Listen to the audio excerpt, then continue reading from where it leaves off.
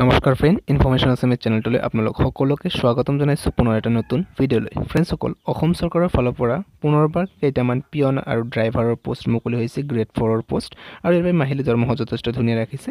গতিকে ইয়াৰ বাবে কি কি এডুকেশ্যনেল কোৱালিফিকেশ্যন ৰাখিছে আৰু আবেদন কেনেকৈ কৰিব লাষ্ট ডেট সম্পৰ্কে সম্পূৰ্ণ তথ্য ভিডিঅ'টোত আলোচনা কৰিব কম সময়তে। গতিকে আহক ভিডিঅ'টো আৰম্ভ কৰোঁ। তো ফ্ৰেণ্ডছসকল এই ন'টিফিকেশ্যনটো আহিছে office of the district and session judge Sonitpur. Tezpur ফালৰ পৰা। আৰু ইয়াতে চাওক যিটো প্ৰথম পোষ্ট আছে ড্ৰাইভাৰৰ বাবে পোষ্ট গ্ৰেড ফ'ৰ ইয়াতে টোটেল পোষ্ট এটাই দিয়া আছে। আৰু ইয়াৰ বাবে চেলাৰীটো ৰাখিছে চাওক চৈধ্য হাজাৰৰ পৰা ষ্টাৰ্ট কৰি ষাঠি হাজাৰ পাঁচশ পাৰ মান্থ লগতে গ্ৰেড পে পাঁচ হাজাৰ দুশ।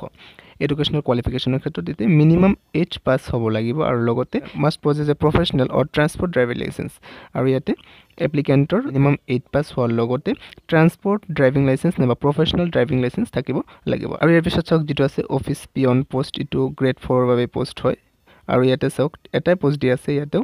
আৰু ইয়াতে চেলাৰীটো থাকিছে বাৰ হাজাৰৰ পৰা বাৱন্ন হাজাৰ আৰু গ্ৰেড পে ৰাখিছে তিনি হাজাৰ নশ। লগতে ইয়াতে এইট পাছ ইয়াতে মিনিমাম এইট পাছ হ'লে আবেদন কৰিব পাৰিব। কিন্তু যিসকলে চাওক আপ টু ক্লাছ টুৱেলভ আৰু যিসকলে ইয়াতে ক্লাছ টুৱেলভ পাছ কৰিছে তেওঁলোকে আবেদন কৰিব নোৱাৰিব। এতিয়া চাওক ইয়াতে বাকী ক্ৰাইটেৰিয়াসমূহ কি কি ৰাখিছে এজ লিমিটটো ৰাখিছে আপোনাৰ ইয়াতে। ওঠৰ বছৰৰ পৰা চল্লিছ বছৰৰ মাজত হ'ব লাগিব। অৰ্থাৎ এক জানুৱাৰী দুহেজাৰ একৈছ তাৰিখে ফৰ্টি ইয়াৰ্ছতকৈ ওপৰত হ'ব নালাগিব। আৰু ইয়াতে কৈছে ৰিলেক্সেশ্যন গভমেণ্ট নৰ্মছ অনুসৰি পাব।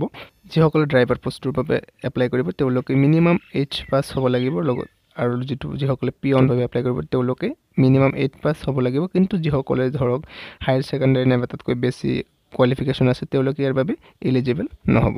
আৰু আপোনালোকে যদি ড্ৰাইভাৰ আৰু পিয়ন দুয়োটা পষ্টৰ বাবে এপ্লাই কৰিব বিচাৰে তেন্তে আপোনালোকে ইয়াতে বেলেগ বেলেগকৈ দুয়োটা পষ্টৰ বাবে দুবাৰকৈ এপ্লাই কৰিব লাগিব ছিপাৰেটকৈ এপ্লাই কৰিব লাগিব।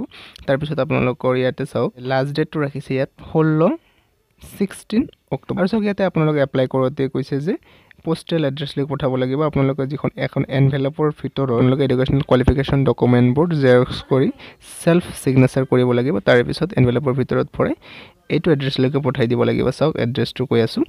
এইটো the application should be address to the district and session judge Sonitpur Tezpur post office and P S Tezpur pin নং seven eight four zero' zero' one district Sonitpur Assam এইটো address পোষ্টৰ এড্ৰেছলৈকে আপোনালোকে পঠাই দিব লাগিব।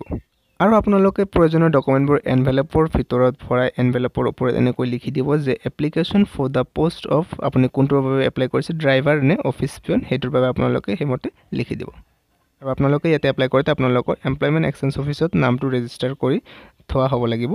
আৰু কৈছে চাওক আপোনালোকে যদি ইয়াৰ বাবে এপ্লাই কৰে যিসকল কেণ্ডিডেট তাৰ ইয়াৰ বাবে ইলিজিবল হ'ব ইণ্টাৰভিউ ডেটৰ সৈতে তেওঁলোকৰ নাম ৱেব অফিচিয়েল ৱেবছাইট এইটো W W W dot Sonitpur judiciary dot G O' V dot in এইটো অফিচিয়েল ৱেবছাইটত আপলোড দিয়া হ'ব। চ' ফ্ৰেণ্ডছ এইখিনি আছিল আজিৰ ভিডিঅ'টোৰ দ্বাৰা আপোনালোকক জনাবলগীয়া। চ' ভিডিঅ'টোত ভাল পালে লাইক কৰিব নিজৰ ফ্ৰেণ্ডছৰ সৈতে শ্বেয়াৰ কৰি দিব আৰু চেনেলটো নতুনকৈ আহিলে ছাবস্ক্ৰাইব কৰাৰ লগতে কাষত থকা বেল আইকনটো প্ৰেছ কৰি দিব। ধন্যবাদ।